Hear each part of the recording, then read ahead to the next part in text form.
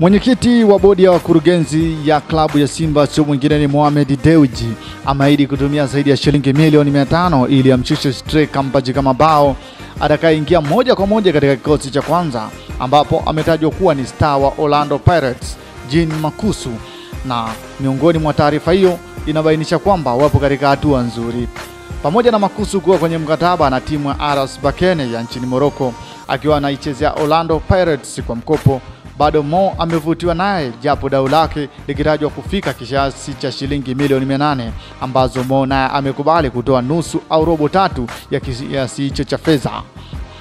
Mkataba wa Makusu unatarajia kufikia ukingoni Juni mwakani. Hii ni kwa mujibu wa taarifa ya umiliki wake, ambapo kampuni hiyo ya Bro Management inamiliki baadhi ya wachezaji maarufu ambao wanashiriki ligi kuu ya Tanzania bara ambao ni Tonombe Muko kuwa Yanga na Clatous Chota Chama.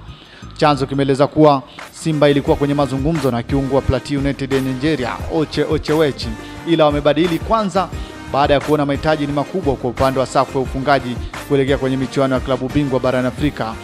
Kwenye dirisha hili dogo, sisi malengo yetu yalikuwa ni kuongeza beki na kiungo mkabaji. Hili linakuja baada ya kumsajili Chris Mugalu, ila kadiri muda unavyosonga mbele, tunaona mahitaji ya ufungaji nayo yanakuwa makubwa, na hili ameliona zaidi mwenyekiti wetu wa bodi Mo.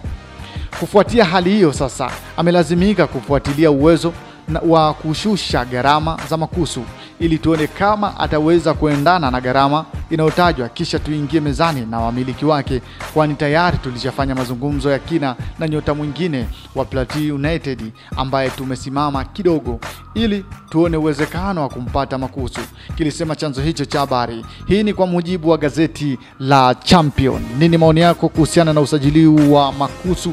Yanaweza anaweza kakata kiu ya klabu ya wekundu wa Msimbazi Simba ambao mashabiki wake wamekuwa wakihitaji kwa muda mrefu? Dondosha komenti yako hapo chini.